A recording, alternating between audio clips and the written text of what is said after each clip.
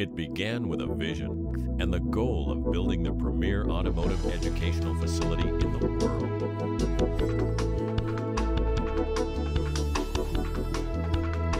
CU ICAR and the Campbell Graduate Engineering Center. A perfect alignment of vision, partnership, and timing. Welcome to the Carroll A. Campbell Graduate Engineering Center. I'm Imtiaz Haque. I'm Executive Director of the center. This center is located at the CU ICAR campus, which is located in Greenville, South Carolina. We are a research-oriented campus where there is a lot of synergistic collaboration between industry, academia, and government. CU ICAR is an exemplary model of a public-private partnership, and the Campbell Center is a $45 million facility with lots of unique capabilities. You will not find in an academic setting such a unique set of test facilities that can be used to design, test, and manufacture vehicles and their components. And all of this is available to industry for adding value to your products.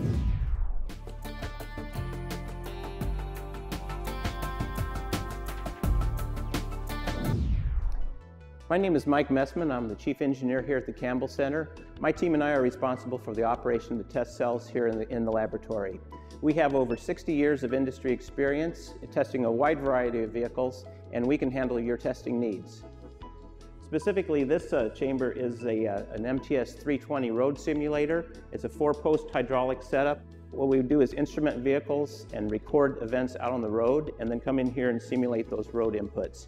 The unique thing about this uh, four-poster is it sits in an environmental chamber where we can control the temperature from minus, uh, 40 degrees centigrade up to 85 C. And we can also control the humidity from 15% up to 90%.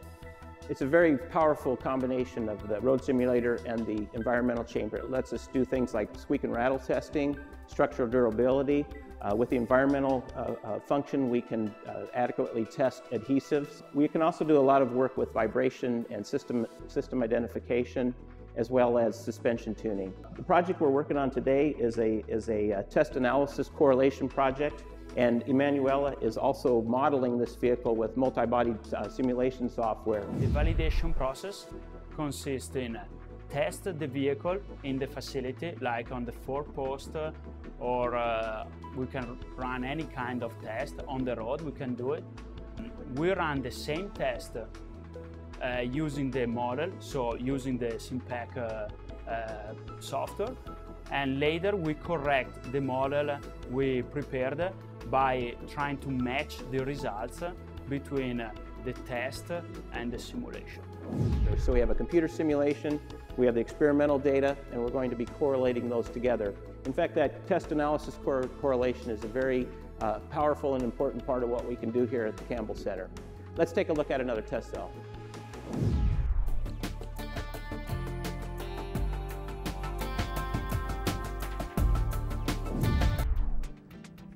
This is our Rink four-wheel drive chassis dynamometer. It's a 500 horsepower system. It'll go 125 miles per hour, and each roll in, uh, operates independently. They can each absorb 125 horsepower. So we can uh, test front-wheel drive, rear-wheel drive, or all-wheel drive vehicles. It is a special low noise design, so it's optimized for noise and vibration measurements. So the type of work we do in here, being that this uh, uh, dynamometer is housed in an anechoic chamber, is driveline noise studies particularly, so engine, valve train, transmission gear noises, that sort of thing. Uh, we do have a full set of, of, instrumentation that goes along with the sound room in terms of accelerometers and microphones and data acquisition systems, so we can do just about any type of noise measurement you want. Uh, one of the other good uses for a chassis dynamometer would be in the area of fuel economy, and uh, this is a driving dynamometer in that we can program different driving schedules, such as a city schedule, or a highway schedule. We could even put in terrain like mountains and hills and things like that. So we could program a driving schedule and then with our uh, precision fuel measurement equipment, we can then calculate fuel economy for various vehicles. So particularly with, uh, with the uh, uh, uh emphasis on hybrids and fuel economy, we're well equipped to do that type of work in here.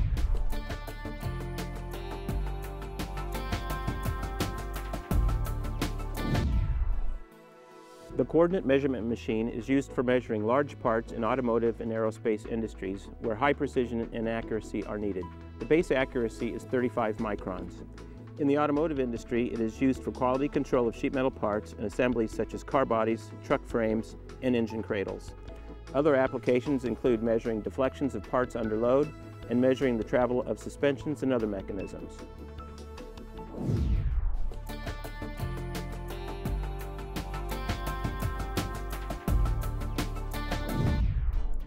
Hello and welcome to our engine dynamometer facility. I'm Robert Prucka. Our engine dynamometer is capable of 590 horsepower at 9,000 RPM. The engine control systems that we have are an engine coolant and oil temperature control system, along with fuel conditioning systems. The fuels that we can operate in this test cell are gasoline, diesel fuel, or alternative fuels.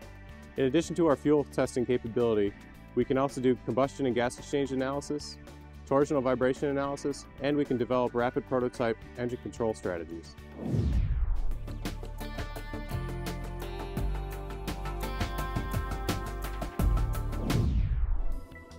Hi, my name is Todd Hubing. I'm the Michelin Professor of Vehicular Electronics here at CU ICAR. We are here in the Campbell Graduate Center Electronics Laboratory. A main feature of this laboratory is our ETS Lindgren RF shielded chamber. The chamber is 28 feet by 20 feet by 18 feet tall. It has a seven foot wide door that slides out of the way that allows us to bring large equipment or even small cars into the laboratory for testing. The chamber has a raised metal floor that has been reinforced on one end to support heavy equipment. The walls and ceiling are covered with ferrite tiles and cones that absorb electromagnetic radiation at frequencies from about 20 megahertz to 20 gigahertz. The lab also has a variety of signal generators, amplifiers, antennas, and probes to perform a wide range of electromagnetic compatibility tests. We currently have the necessary equipment to perform nearly all of the CISPR, SAE, and IEC automotive component level EMC tests, as well as the CISPR and FCC commercial EMC tests. Our laboratory facility can be used to evaluate your products before they're sent off for certification testing. We can also help you diagnose and troubleshoot EMC problems that you find as a result of certification testing. I've been in Japan, uh, China, and uh, Germany, of course, of talks with uh, some people from the university, from ICAR, and I must say I'm impressed uh, with, um, with the staff, very good staff, and especially I think the faculty is quite excellent. They have set a goal to, uh, uh, to go to new ways, a new approach in teaching and in doing research. It is quite uh, exceptional. When you look in the world, it is quite exceptional. We invite you to be a part of the exciting future that we're developing at CU ICAR. Thank you for spending time with us.